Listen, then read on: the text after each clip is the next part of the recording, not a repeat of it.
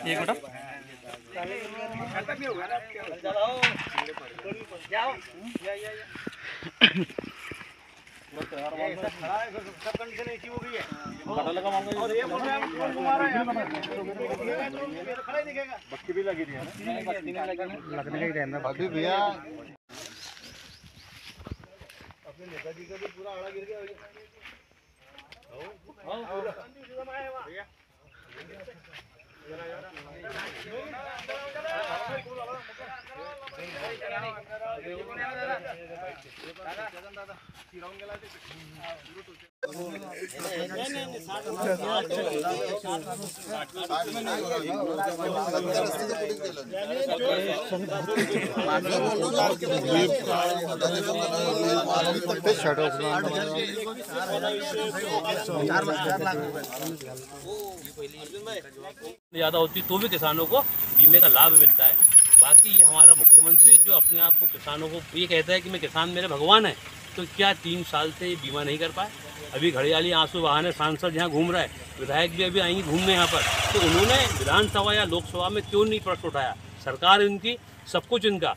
और उसके बाद यहाँ आ रहे हैं बोदरली में तो किसानों की बात ना करते हुए लाली बहना की बात कर रहे हैं। अभी आज किसान मर रहा है, किसान के सामने जो अपने मुँह में आया हुआ निवाला मुँह से चुना जा रहा है। उसके बावजूद भी करोड़ों का नुकसान इस क्षेत्र में है और ये घड़ियाली आँसू बहा है। तो ये सबसे पहला काम इनको ये करना चाहिए कि जो किसानों का जो बीमे के अनुरूप जो पैसा मिलता था, इस अनुरूप किसानों को पैसा मिले। और ये जो चार आरबीसी की बात कर रही है पूर्व मंत्री तो उसकी बात ना करते हुए जो आज सत्तर से अस्सी रुपये एक झाड़ को लेकर जो खर्च होता है किस केले के ऊपर उसके अनुसार मुआवजा मिले। ना कि ए, हमारी आरबीसी देंगी और ये देंगी। क्योंकि गलती इनकी है इन्होंने किसानों का फ़सल बीमा और प्रधानमंत्री बीमा नहीं किया जिसका भुगतान आज किसान को भुगतने को तैयार है।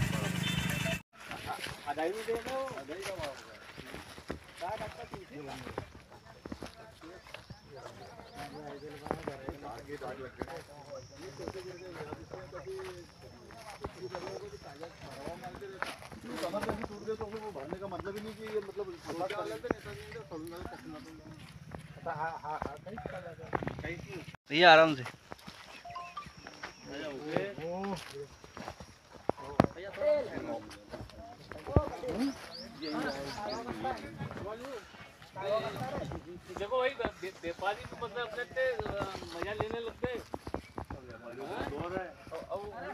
चालू हो से ग्राम देवफड़िया मातापुर राजोरा चाकबारा, बरजड़ी होते हुए किसानों के खेतों में जाकर किसानों के जो नुकसान हुआ है, या प्रकृति की मार की वजह से जो भी आंधी तूफ़ान से केले गिरे हैं तो इसके लिए हम लोग पूरे क्षेत्र में आज पूरे किसानों के खेत में जाकर इसका मुआवजा करेंगे और जो सरकार से हम लोग इसका सर्वे जल्दी से जल्दी कराएँ और हमारे किसानों को मुआवजा मिले।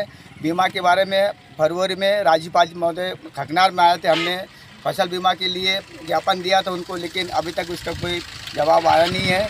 तो हम चाहते हैं कि हमारे किसानों को बिल्कुल यानी जल्दी से जल्दी इस नुकसान का मुआवजा मिले, यही हम लोग मुआवजा अगर किसानों को नहीं मिलता तो कांग्रेस बहुत बड़ा सड़क पर उतरेगी। बिल्कुल बिल्कुल हम बहुत बड़ा जन आंदोलन करेंगे।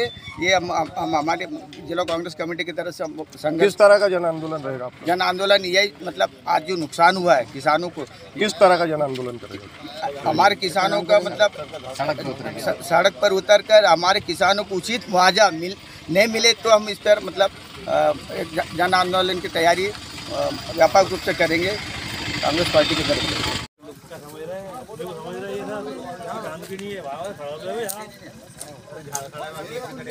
कटेगा नहीं